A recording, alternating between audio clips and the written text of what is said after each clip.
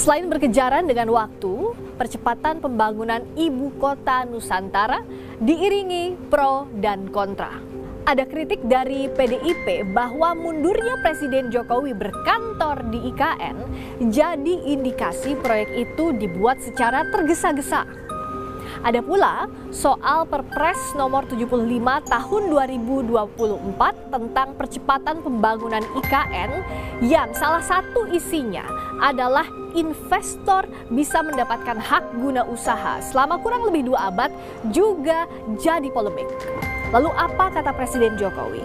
Dan mampukah pemerintah mencapai target pembangunan ibu kota Nusantara? Lengkapnya dalam ulasan istana bersama saya, Friska Clarissa.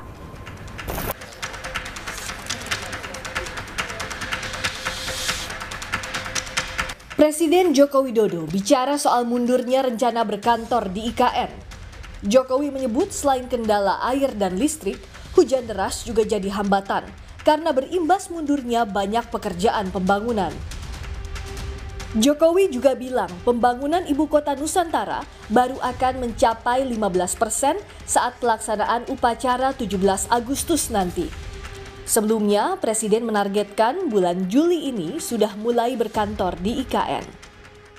Sesuai dengan uh, undang-undang IKN yang ada, kita ingin memang uh, OIKN, otoritas IKN itu betul-betul diberikan kewenangan untuk menarik investasi yang sebesar-besarnya baik investasi dalam negeri maupun investasi luar negeri. Karena yang dibangun dari APBN itu hanya kawasan inti yaitu kawasan pemerintahan. Yang lainnya itu kita berharap kepada investasi, kepada investor baik dalam maupun luar negeri.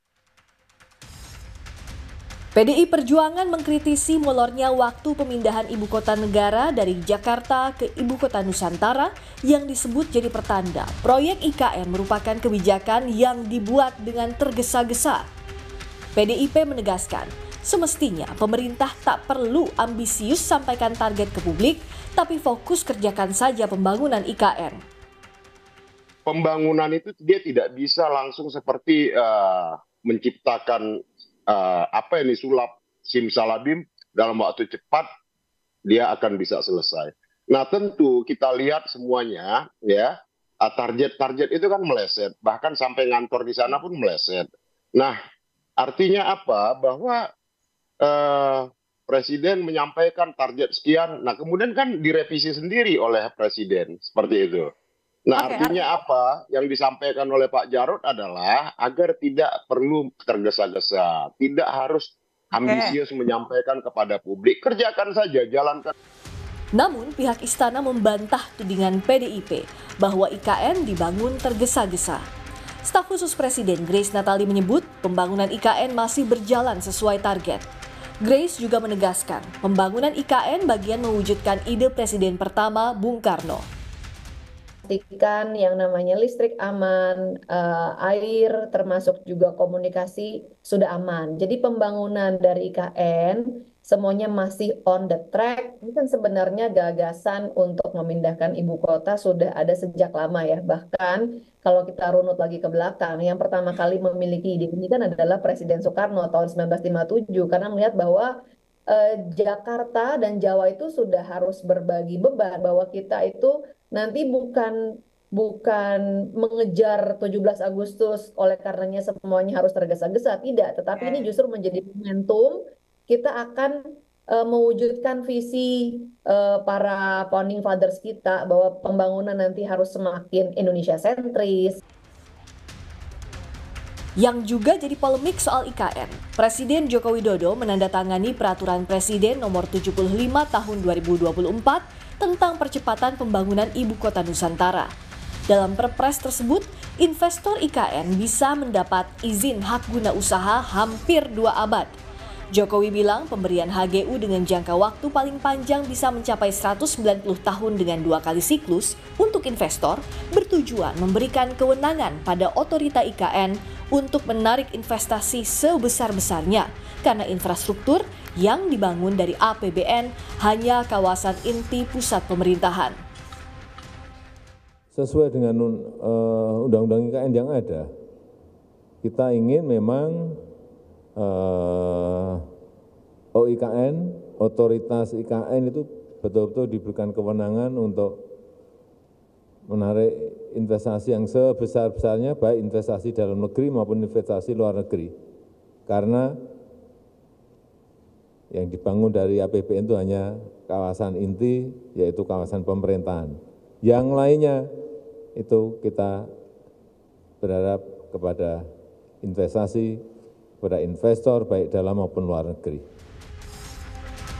Namun peneliti dari Institute for Development of Economics and Finance atau INDEF mengkritisi kebijakan itu tidak adil karena pemberian HGU terlalu lama.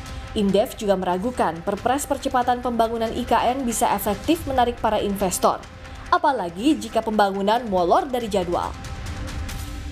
Dalam perspektif uh, keadilan sebetulnya ini tidak cukup adil begitu ya karena kenapa harus terlalu lama? Kalau uh, gula-gulanya ya istilahnya begitu itu hanya uh, hak guna bangunan atau hak guna usaha yang sampai diperpanjang hingga lebih dari 100 tahun uh, walaupun itu mungkin bagi kalangan investor tertentu itu penting, tapi menurut saya sebagian besar investor tetap akan lebih melihat kepada jangka menengah. Kalau kemudian yang terjadi tidak ada akselerasi, perencanaan demi perencanaan mundur begitu ya, uh, atau molor dari uh, jadwal yang direncanakan, ya saya rasa memang secara umum mereka sudah melihat bahwa IKN ini tidak cukup menguntungkan.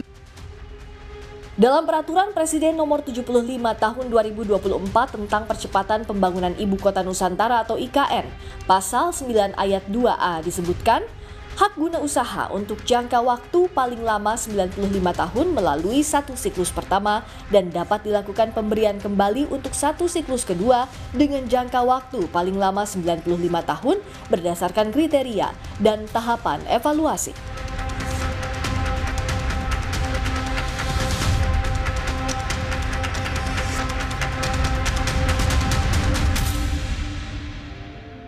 Ibu Kota Nusantara jadi proyek andalan Presiden Jokowi.